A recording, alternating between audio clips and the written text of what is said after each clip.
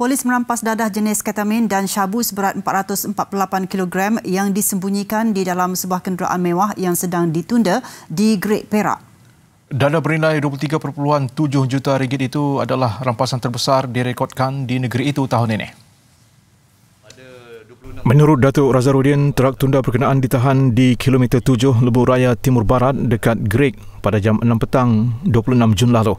Dua lelaki anak beranak berusia 27 dan 58 tahun yang berasal dari Kelantan kemudian ditahan. Pemeriksaan di dalam kenderaan di atas truk tunda berkenaan menemukan 447 bungkusan teh Cina yang mengandungi dadah dipercayai diselurup dari kawasan segitiga emas di utara Thailand. Dadah-dadah ini bukan sahaja untuk penagih-penagih tempatan malah dadah-dadah ini kita percaya. Daripada resikan kita yang ada akan diantar ke negara yang ketiga. Contohnya seperti jiran-jiran kita Filipina, Indonesia, Korea Selatan, Australia.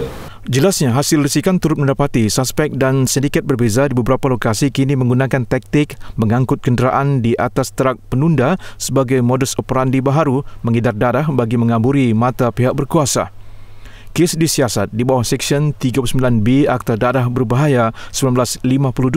Kedua-dua suspek yang tiada rekod jenayah lampau ditahan reman selama tujuh hari sehingga 3 Julai depan.